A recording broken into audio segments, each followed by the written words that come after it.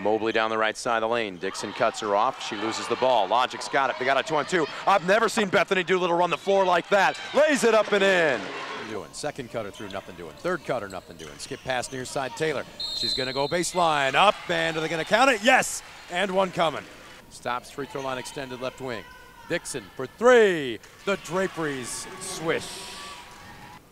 They're close. Eight points away. Six and a half minutes left. And Melissa Dixon has just tied a personal record. No, that's the Or Iowa she, record. she tied the Iowa record. She set a personal record. There we go. I have to credit my teammates. They were amazing. They found me when I was open, and like I said, we just got a lot of stops in defense and opened a lot in transition. Stolen away by Logic. Behind the back. Crosses over down the left side of the lane. Dishes off to Disterhoff. She'll launch for three. Why not? It's raining threes in Mexico. Hasake Ueva. Make it rain. Dixon for three. Give her 29. Because on paper, we were better, and on paper, we should have won, but that doesn't always happen in the third game in three days.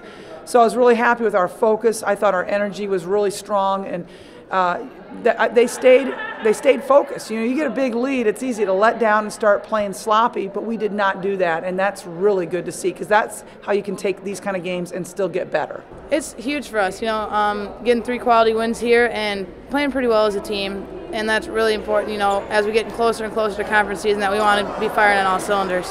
Um, I think it's a pretty big deal for us. I mean, uh, we've been working on goals this whole season and preseason, and I think um, to accomplish one so early in the season is really good for us going into um, our next games. Um, this is great. We played great all three games. Um, it was a fun tournament, really good competition, and this is just going to carry on towards the, end, uh, the rest of the season. We'll have uh, tomorrow as a travel day off uh, for us, uh, but then definitely having to get ready for a tough Syracuse team, a very good team. They're undefeated on the season right now.